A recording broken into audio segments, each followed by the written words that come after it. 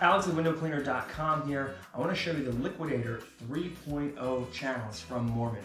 The Liquidator 3.0 channels come in a variety of sizes from 10 all the way up to 22 inch. They are lightweight aluminum and they come in this cool black color with the Moerman Blue 3.0 end clips and the new NXTR blue rubber.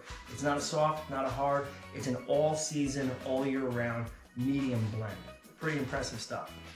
The 3.0 end clips on the new Liquidator channel have been redesigned to put less pressure on the very ends. That's gonna do a few things. It's still going to eliminate most of the detailing, get right up to the frame of the window, right into the corner, but it's gonna soften the learning curve when it comes to understanding how to use a Liquidator channel. You don't have to put nearly as much pressure on anymore because there's less pressure being applied at the ends. The Liquidator 3.0 channels are going to fit onto all of the Moerman handles. So every handle Moerman has on the market currently will fit in the 3.0. There's little dots on the channel here to help you always center the channel in the handle, just something that's kind of handy.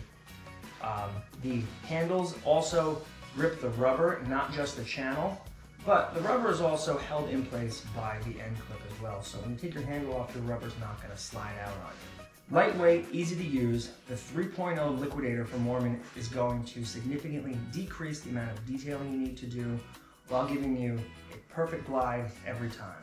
Be sure to check out the Moerman Liquidator 3.0 at windowcleaner.com.